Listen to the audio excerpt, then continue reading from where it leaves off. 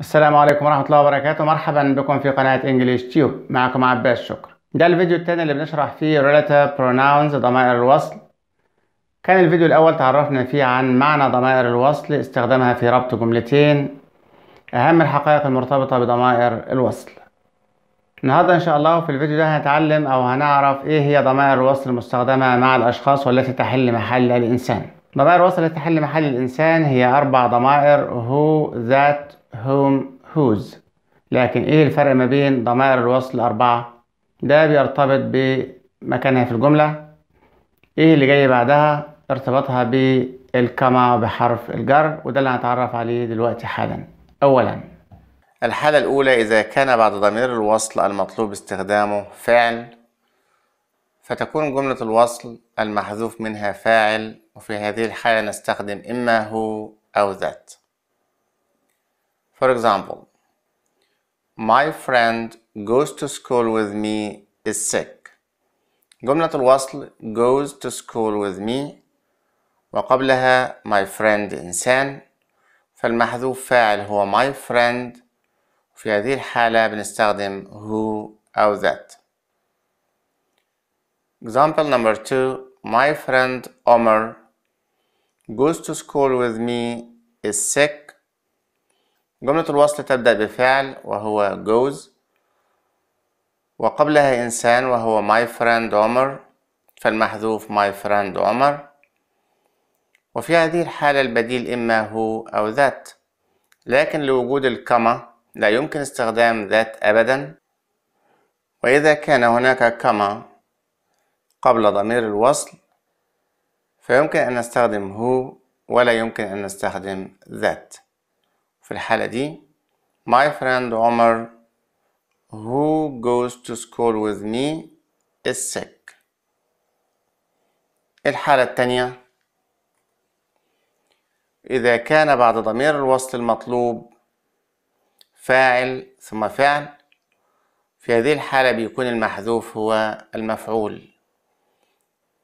وبيأتي ضمير الوصل ليحل محل المفعول لكن يأتي في أول جملة الوصل. وبيكون عندي احتمالات who أو that أو whom For example Number one My friend I go to school with is sick. جملة الوصل تبدأ بفاعل وهو I وقبلها إنسان والمحذوف من الجملة مفعول هو my friend I go to school with my friend. في هذه الحالة يمكن أن نستخدم who أو that أو whom. Number two My friend Omar I go to school with is sick. جملة الوصل I go to school with وينقصها my friend مفعول. لكن قبل ضمير الوصل يوجد كما وفي الحالة دي يمكن استخدام هو لأنه هو يمكن أن يسبقها كما. لا يمكن استخدام ذات لأن ذات لا يمكن أن يسبقها كما. يمكن استخدام whom لأن whom يمكن أن يسبقها كما وبالتالي الاختيار إما هو أو whom Number three, my friend with I go to school is sick. جملة الوصل I go to school والمحذوف with my friend. لكن حرف الجر with استخدم قبل ضمير الوصل فيبقى أن نستخدم ضمير وصل يحل محل المفعول my friend. لكن في وجود حرف الجر with لا يمكن استخدام هو لأن هو لا يمكن أن يسبقها حرف جر. ولا يمكن استخدام ذات لأن ذات لا يمكن أن يسبقها حرف جر. لكن يمكن استخدام whom التي يمكن أن يسبقها حرف جر.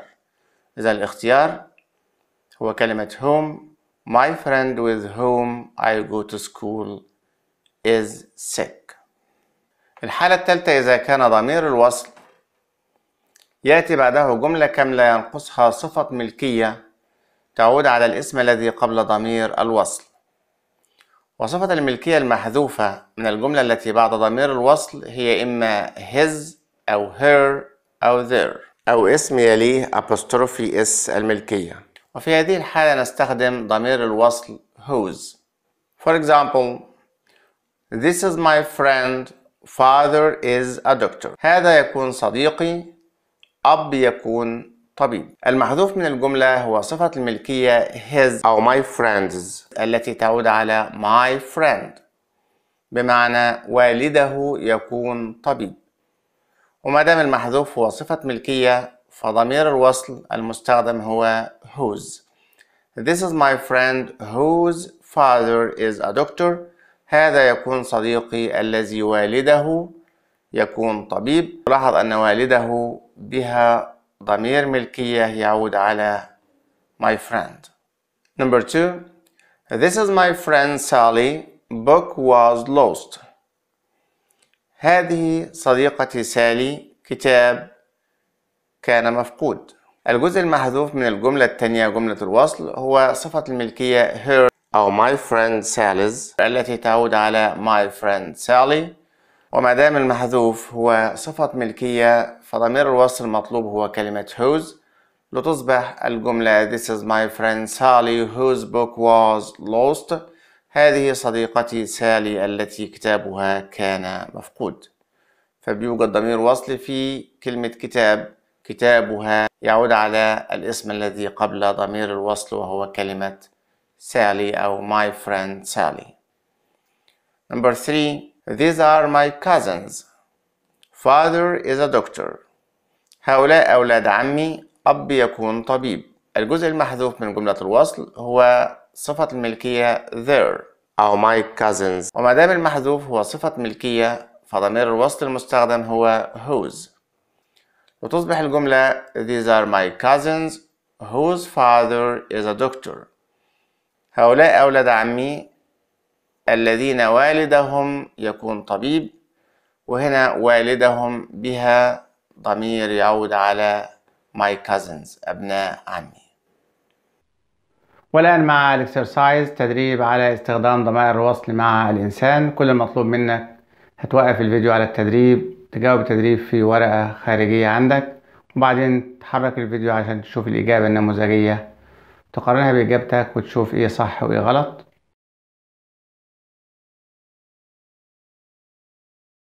ده كل شيء عن استخدام ضمائر الوصل مع الأشخاص. الفيديو القادم إن شاء الله هيكون عن استخدام ضمائر الوصل مع الأشياء. إذا عجبك الفيديو دوس لايك and subscribe.